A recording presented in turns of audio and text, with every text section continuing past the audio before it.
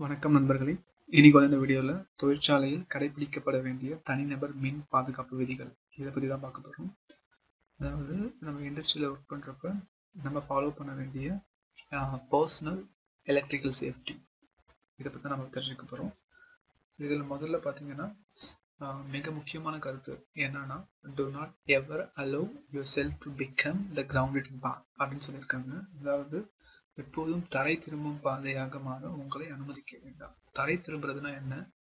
Ground return பார்த்தோன்னா என்ன? உங்க வழியா வந்து இந்த கரண்ட் வந்து ஃப்ளோ ஆக ஃப்ளோ ஆக உங்களை வந்து அனுமதிக்க கூடாது அப்படின்னு சொல்றாங்க. இப்போ நம்ம வந்து ஏதோ ஒர்க் பண்ணிட்டு இருக்கோம். ஸோ தெரியாம வந்து இந்த மாதிரி ஆயிடுச்சு. அன்கிரவுண்டட் அன்கிரவுண்டட்னால என்ன ஆகுது அப்படின்னா நம்ம வழியா வந்து கரண்ட் ஃப்ளோ ஆகுது. பேரலல் ரிட்டர்ன் பார்த்தா நம்ம வந்து தான் அதாவது தரை திரும்பும் பாதையாக நம்ம வந்து இந்த இடத்துல வந்து இருக்கோம். இதே கிரவுண்டிங் பண்ணோம் அப்படின்னா அந்த கிரவுண்ட் வழியே இது வந்து அந்த கரண்ட் வந்து ஃப்ளோ ஆகிட்டு கிரவுண்ட் ஆகிடும் எந்த ப்ராப்ளமும் இருக்காது. ஸோ நீங்கள் எப்பயுமே வந்து எலக்ட்ரிக்கல் ஒர்க் பண்ணுறீங்க அப்படின்னா கண்டிப்பாக வந்து உங்களை do not ever allow yourself to become the ground return path எப்போதும் தரை திரும்பும் பாதையாக மாற உங்களை அனுமதிக்க வேண்டாம். இது வந்து நீங்கள் எந் எல்லா கேஸுக்குமே இது வந்து பொருத்தமாக இருக்கும். சரிங்களா? கரண்ட்டை பொறுத்த வரைக்கும் என்ன எந்த இடத்துல மின்துறை ரொம்ப கம்மியாக இருக்கோ அதை நோக்கி தான் வந்து அது பாயும். ஃபார் எக்ஸாம்பிள் ஒரு ஒரு எடுத்துக்காட்டு சொல்கிறேன் ஒரு நிறைய பொண்ணுங்க இருக்காங்க. அந்த பொண்ணுங்கள இடத்துல வந்து ரொம்ப அழகா ஒருத்தவங்க இருக்காங்க. ஸோ அந்த அழகா இருக்கவங்களை நோக்கி தான் எல்லா பசங்களுமே போவாங்க. ஏன்னா நிறைய பொண்ணுங்க இருப்பாங்க. ஆனால் ரொம்ப அழகாக இருக்கவங்க அட்ராக்டிவாக இருப்பாங்க சரிமா அவங்கள நோக்கி தான் எல்லாரும் போவாங்க. ஸோ சேம் கரண்ட்டும் அதே மாதிரி தான் நிறைய பாத்ஸ் இருக்கும். ஆனால் எந்த பாத்தில் வந்து மின்துறை ரொம்ப கம்மியாக இருக்கோ அது வழியாக தான் சீக்கிரம் ஃப்ளோ பண்ண ட்ரை பண்ணும். ஓகேங்களா? முயற்சி பண்ணும். ஸோ நம்ம நம்ம ஹியூமன் பாடி எடுத்துக்க மனித உடம்பு எடுத்துக்கிட்டிங்கன்னா அதுலேயுமே வந்து நம்ம ஒரு சில பார்ட்ஸுக்கு ஒரு சில ரெசிஸ்டன்ஸ்லாம் இருக்கும். மின்தடை இருக்கும். அதில் எது கம்மியாக இருக்கோ அது வழியாக தான் ஃப்ளோ ஆகும். ஸோ நீங்கள் வந்து மேக்ஸிமம் வந்து சேஃபாக ஒர்க் பண்ணுங்க. இப்போ விதி ஒன்று அப்படின்னு பார்த்தீங்கன்னா அனைத்து பிழை திருத்தமும் அனைத்து சக்தியையும் முடக்கிய நிலையில் செய்யப்பட வேண்டும். ஓகேங்களா அதாவது all troubleshooting should be performed with all power ஆஃப்னு சொல்லியிருக்காங்க. இப்போ ட்ரபிள் ஷூட்டிங் பண்ணுறீங்க அப்படின்னா ஒரு சில ட்ரபிள் ஷூட்டிங்லாம் வந்து ஆன்லைனில் பண்ணுற மாதிரி இருக்கும் பட் நான் அதை பற்றி பேசல. ஒரு சில ட்ரபிள் ஷூட்டிங் அதாவது ஒரு சில பிழை திருத்தம்லாம் வந்து நம்ம ஆஃப் பண்ணிட்டு பண்ணுற மாதிரி இருக்கும். ஸோ அந்த டைமில் வந்துட்டு எல்லாமே ஆஃப்ல இருக்கா அப்படின்னு சொல்லிட்டு நம்ம வந்து கன்ஃபார்ம் பண்ணணும். சரிங்களா? All troubleshooting should be perform with all power off அப்படின்னு சொல்லியிருக்காங்க. இது வந்து விதி ஒன்று ஃபார் எக்ஸாம்பிள் இங்கே வந்து ஒரு பிரேக்கர் வந்து எரிஞ்சு போயிடுச்சு. ஸோ இந்த பிரேக்கர் எரிஞ்சு போயிடுச்சு அப்படின்னா அந்த இடத்துல நம்ம வந்து டோட்டல் பவரே ஆஃப் பண்ணணும். தெரியாமல் ஏதாச்சும் ஷார்ட் சர்க்கியூட் ஆகலாம் சப்ளை வரலாம். நம்மளாம் எரிஞ்சு போயிடுச்சு இல்லை சப்ளை வராது கேபிள் கட் ஆகிட்டு இருக்கும். இப்படிலாம் ஏதோ சம்திங் ஏதோ நடக்கும். ஆனால் நம்ம எதிர்பார்த்தது நடக்கும். எலக்ட்ரிக்கலை பொறுத்த வரைக்கும் அப்படிதான் நம்ம நம்ம எதிர்பார்த்தது எதுவும் நடக்காது. திடீர்னு வந்து எதிர்பார்த்தது நடக்கும். ஸோ அதனால என்ன சொல்கிறாங்கன்னா all troubleshooting should be perform with all power ஆஃப்னு சொல்லியிருக்காங்க.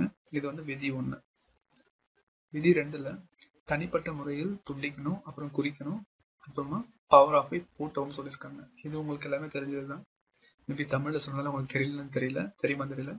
Personally disconnect mark and lock the power off இங்கே பார்த்தீங்கன்னா தெரியும். ஸோ இதுதான் இந்த லாக் அவுட் டேக் அவுட்னு சொல்லுவாங்க.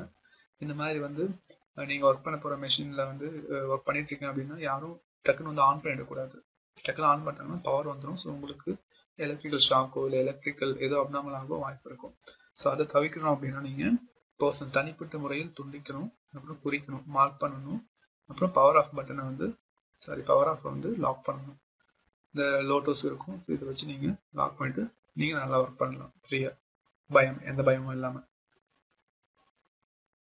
அடுத்து விதி மூணு அனைத்து சுற்றுகளையும் அவை இயக்கப்படுவது போல் அணுகவும். சுற்றுக்கள்னா சர்க்கியூட்ஸ் ஓகே அதாவது approach all the circuit as if they are powered இப்போ நீங்கள் வந்து ஈவன் பவர் ஆஃப் பண்ணிட்டுனாலும் பண்ணிட்டீங்கனாலும் நீங்கள் வந்து அதில் சர்க்கியூட்டில் பவர் இருக்க மாதிரி தான் நீங்கள் வந்து அதை அப்ரோச் பண்ணணும் அப்படின்னு சொல்கிறாங்க ஏன்னா நான் ஒரு இடத்துல வந்து பார்த்துருக்கேன். ஒரு மிஷின் இருக்குது அந்த மிஷினில் வந்து பவர் ஆஃப் பண்ணிட்டோம். ஆனால் ஒரு பிரேக்கருக்கு மட்டும் அது யார் பண்ண வேலைன்னு தெரியல.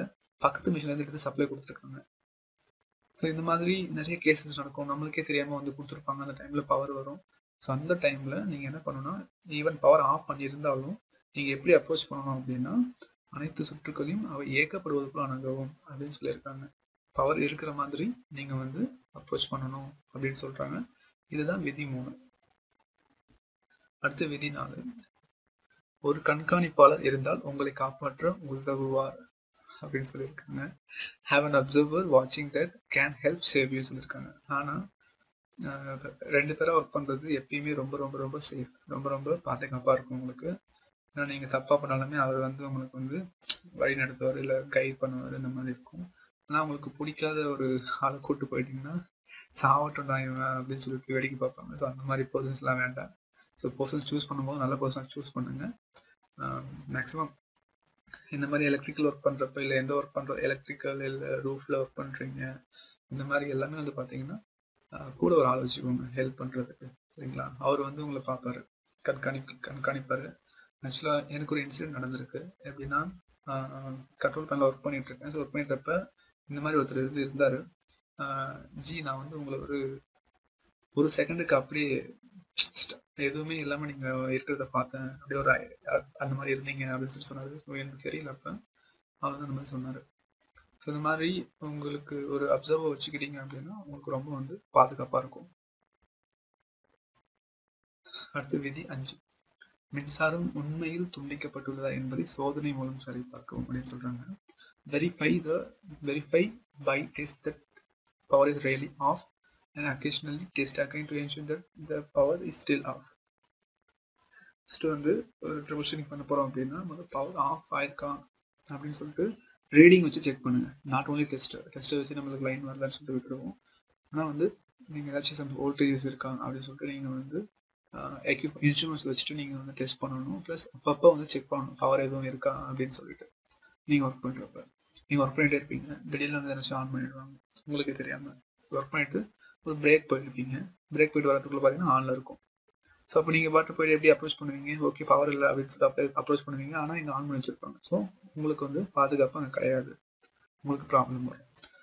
ஸோ அதனால அடிக்கடி வந்து பவர் இருக்கா இல்லையா அப்படின்னு சொல்லிட்டு நீங்கள் வந்து டெஸ்ட் பண்ணிக்கிறது உங்களுக்கு ரொம்ப நல்லது. அடுத்து விதி ஆறு. அனைத்து மின் சுற்றுகளையும் அவை இயக்கப்படுவது போல் தொடரவும் சொல்லியிருக்காங்க. Continue to treat all circuits as if they are power இங்கே சேம் அதான் சொல்கிறாங்க அதாவது எல்லா சர்க்கியூட்டுமே நாட் ஓன்லி எலக்ட்ரிக்கல் சர்க்கியூட் இந்த மாதிரி ஸோ எந்த ஒரு சர்க்கியூட் எலக்ட்ரானிக்ஸாக இருக்கட்டும் எது வந்தாலுமே அதில் பவர் இருக்கிற மாதிரி வந்து ட்ரீட் பண்ணணும் அப்படின்னு சொல்லி சொல்கிறாங்க அனைத்து மின் சுற்றுகளையும் அவை இயக்கப்படுவது போல் தொடரவும் அப்படின்னு சொல்கிறாங்க அடுத்து விதி ஏழு. இது பாருங்க உங்கள் இதய திசை வழியாக தரையில் திரும்பும் பாதையை நிறுவுவதில் ஏதேனும் மாற்றங்களை தடுக்க உங்கள் மறுக்கையை உங்கள் பின்புற பாக்கெட்டில் வைத்திருங்கள் சொல்றாங்க. சி keep your other hand in your rear pocket in order to prevent any changes of establishing a ground through path through your heart muscle அப்படின்னு சொல்றாங்க. இது இவங்க என்ன சொல்ல வராங்க அப்படின்னா ஒரு டெர்மினல்ஸ் டைப் பண்ணிட்டு இருக்கீங்க. அது லைன் டெஸ்ட் வச்சு நான் டெஸ்ட் பண்ணிட்டு இருக்கேன். இது என்னோட இன்சிடென்ட் லைன் டெஸ்ட்டை டெஸ்ட் பண்ணிக்கிட்டு நான் வந்து ஒரு கையை சரி ஓகே சப்போர்ட்டுக்கு சாஞ்சிக்கலாம் அப்படின்னு சொல்லிட்டு பேனல்ல ஒரு கையை வச்சுட்டேன். ஸோ அது பெயிண்டிங்லாம் போயிட்டு இருந்துச்சு பேனலில் வச்சுட்டு. ஸோ எனக்கு வந்து ஷாக் வந்துச்சு டக்குன்னு என்னடா இது அப்படின்னு சொல்லிட்டு எனக்கு தெரியல. அப்போ வந்து எனக்கு எனக்கு என்னுடைய கரியரில் வந்து அதுதான் வந்து அவர் ஆரம்பம். இப்போ எனக்கு அவ்வளோவும் தெரியாது. போயிட்டு என்னுடைய சீனியர்லாம் கூப்பிட்டு வரேன் சார் இந்த மாதிரி எனக்கு ஷாக் அடிக்குது. அப்படி வச்சு டெஸ்ட் பண்ணேன் இப்படி சொல்லிட்டு கையை வச்சுலாம் காமிச்சேன் அவர் கேட்டார் நீங்கள் எதுக்குன்னா கையை வைக்கிறேன் அப்படின்னு கேட்டார். ஸோ அப்பதான் எனக்கு தெரியும். ஸோ ஏன் நான் தான் ஒரு பாத்தை கிரியேட் பண்ணுறேன் அப்படின்னு சொல்லிட்டு அவர் சொன்னார். ஸோ டெஸ்ட் நம்ம ஏதாச்சும் ஒர்க் பண்ணுறப்ப மேக்ஸிமம் நம்மளுடைய ஒரு ஒரு கை சும்மா இருக்கும். அந்த கையை வந்து மேக்ஸிமம் கையை பின்னாடி கட்டிக்கோங்க. இல்லை பாக்கெட்குள்ளே வச்சுக்கோங்க. இந்த மாதிரி பண்ணி. ஸோ இந்த மாதிரி பண்ணுறது மூலயமா நம்மளுக்கு இந்த ஹார்ட் மசில் வழியாக ஃப்ளோ ஆகிற அந்த ரிட்டர்ன் கிரவுண்ட் ரிட்டர்ன் பார்த்து வந்து தடுக்கலாம் அப்படின்னு வந்து சொல்கிறாங்க இது வந்து விதிகள் ஸோ இதுதான் பார்த்தீங்கன்னா மொத்தம் நம்ம இண்டஸ்ட்ரியல் எலக்ட்ரிக்கல் பர்சனல் சேஃப்டின்னு பார்த்தீங்கன்னா இவ்வளோ தான் இருக்குது இதோட நிறைய சேஃப்டிஸ் இருக்குது பட் ஆனால் பர்சனல் நம்ம ஒர்க் பண்ணுறப்ப இதெல்லாம் நீங்கள் வந்து கண்டிப்பாக வந்து கன்சிடர் பண்ணணும். ஓகே கைஸ் தேங்க்ஸ் ஃபார் வாட்சிங் இந்த வீடியோ பிடிச்சிருந்துச்சுன்னா உங்கள் ஃப்ரெண்ட்ஸுக்கும் ஷேர் பண்ணுங்கள் நெக்ஸ்ட் வீடியோவில் பார்க்கலாம்.